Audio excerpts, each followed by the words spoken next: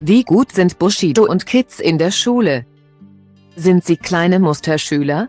Der Rapper Bushido, 44, und seine Frau Anna Maria Ferchichi, 41, haben sieben gemeinsame Kinder.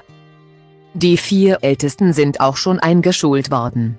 Vor einigen Monaten wanderte die Großfamilie nach Dubai aus, wohl eine große Umstellung für alle. Auf Social Media zeigte Sarah Connors, 42, Schwester bereits, dass sie sich mittlerweile gut eingelebt haben. Aber wie läuft es für Bushidos Kids in der Schule?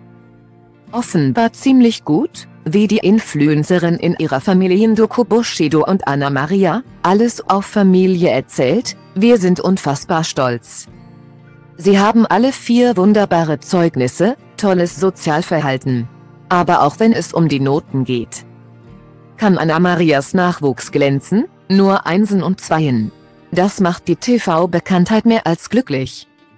Ich bin einfach nur happy, weil das ja ganz schön aufregend bei uns war die letzten Jahre.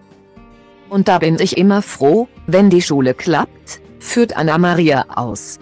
Dabei dürfte sie nicht nur den großen Umzug meinen. Denn in Deutschland lebte Bushidos Familie jahrelang unter Personenschutz, so dass sie kein normales Leben führen konnten.